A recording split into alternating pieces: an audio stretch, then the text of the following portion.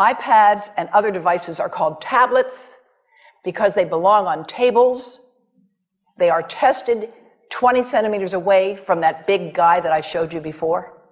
20 centimeters away. They are not approved to be held in the laps of little children, although millions of kids are having them now in schools because the people involved in educational technology and those involved in public health research are not talking to one another. Because if they were, they would understand that you're giving children a two-way microwave radiating device, and if you must give them such a device for learning purposes, put it on airplane mode so that it's not sending and receiving signals as it does otherwise. Now, this is some new modeling, again, that we've developed with colleagues in Brazil, and we can share with you how we've done it. It's, we first start out with the MRI and create the model with one millimeter voxels. And this is quite a bit of work goes into creating this. And here is what it looks like after a period of six minutes. That's really not as bad as it might look because you see the red area only gets partway through the eye of the adult, right? The one that we're really concerned about is this one with the young child. And this is a three-year-old brain that we modeled. And you see that by the end of that six-minute call, uh, the peak radiation, yellow and red, is, is, is getting all the way into almost both eyes.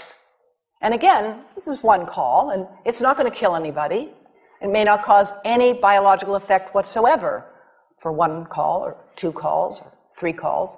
But the question is, what's the cumulative impact of this kind of exposure? How do we evaluate it? And I want to show you an example of some of the work that we are doing now that I'm releasing here for the first time. And this is a modeled microwave radiation dose of a six-year-old with greater levels to the frontal and temporal lobes, eyes and cheek.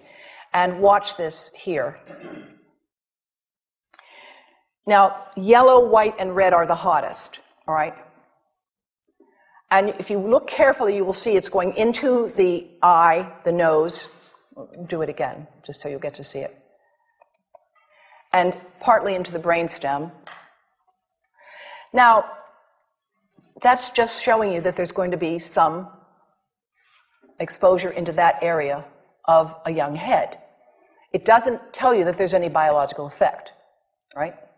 Now, the next slide is going to show you something that might be of interest to students and faculty here. And that has to do with exposure to the reproductive organs. We call them the gonads. I think you say the testicles. And bone marrow. And look here at the radiation as it gets into the groin area. And that's just from having a mobile phone modeled into the pocket. And this again, is based on a normalized SAR with a, I think we had a uh, dipole antenna. Now, the breast. The breast is mostly fat, contains a lot of fluid. Things that contain fat and fluid cook faster in the microwave oven. Now, a cell phone can't cook anything, right? Mobile phones do not pop popcorn. That was a fraud. They don't make any heat that we know of, otherwise they wouldn't be permitted. But they do go through things that contain fat and fluid. And we are now working at Environmental Health Trust with scientists at the University of California, San Francisco, uh, scientists uh, at formerly the president of the American Cancer Society of California, because we are seeing women who keep cell phones in their bras. Has anyone seen a woman put a cell phone in her bra? Hands up, please. Please tell them you've heard now why they shouldn't do that. And here I want to show you our first case report from 2009, and we now have many more. This was a Chinese American woman, a Chinese American woman who used her cell phone four hours a day in her bra for 10 years while she was driving. Now, and you drive with a, with a phone on your body the phone is smart. It's going to go from one tower to another and it's going to say, here I am, where are you, here I am. And it's going to be going to max power each time it moves from one cell tower to another.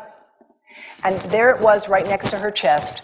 And the tumors that developed, developed right under the antenna of the phone. unusual tumors. But in the meantime, people have a right to know how you can minimize exposure. And again, I think this information is available on our website, will be available on yours. Remember, if you have to give a phone to a child, put it on airplane mode. And think about this. That microwave oven, it works because there's a metal box around the microwave signal, and the signal pings all over the place. Next time you get into an elevator or a train for any length of time, put your phone on airplane mode. Otherwise, that signal is going all over the place, magnifying and coming back. Keep the mobile phone away from you when it's on and you are asleep. Now, it takes a village to do a lot of things. These are some of the people whose materials I've used today with their permission, and I can't read this list to you, but I want you to know that I feel really honored to be working with some of the most talented people in the world on this issue. And they have given me permission to share these materials with you. And I leave you with this thought from Albert Einstein. The world is not dangerous because of those who do harm, but because of those who look at it without doing anything. So, thank you.